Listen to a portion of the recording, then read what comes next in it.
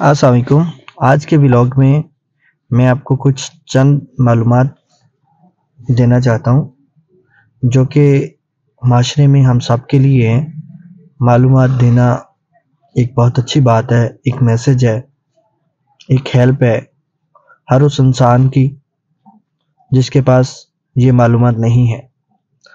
Message मैं ये देना चाहता हूँ कि हम लोग माशरे में रहते हैं।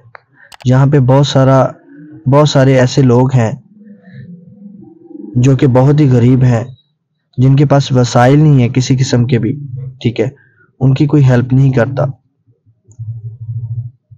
तो आप खुद समझदार हैं कि जिन लोगों के पास वसाइल नहीं है, वो कहाँ जाएँ?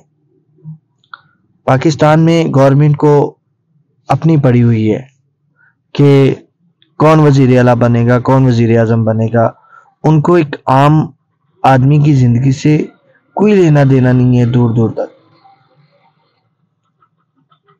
तो मैं आपको बताना ये चाहता हूँ कि कराची में अभी एक वाक़ हुआ है। मैं उसकी वीडियो देख रहा था सोशल कि उसको धमकाया जा रहा है कि आपको मैं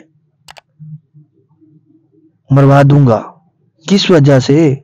उसने रोका है आपको चेकिंग के लिए कि आपकी गाड़ी पे जो लीगल स्टिकर है एंट्रेंस का, वो नहीं लगा हुआ। तो उसको ये धमकाया जा रहा है कि अगर आप मुझे अंदर नहीं जाने देंगी तो मैं आपके खिलाफ गुस्ताखे रसूल और मजहबी लोगों को ले आऊँगा और आपको मरवा दूँगा कि इसने मज़हब के खिलाफ कुछ बोला है। तो ऐसे बहुत सारे केस केसों में लोगों की बेनजायज, बेगुनाह लोगों की जान चली गई है। जैसे कि दो मजदूर थे, उनको ज़िंदा भट्टे में जला दिया गया था। गोजरे का वाकया देख लें। इस तरह के बहुत सारे वाकयात होते हैं। तो बर मेहरबानी, इन चीज़ों से गुरेज करें, लोगों को जीने दें, सही है? और जो हक की राय की बात करता है, उसकी बात सुने। ठीक है? ना कि उसके साथ जरा करें।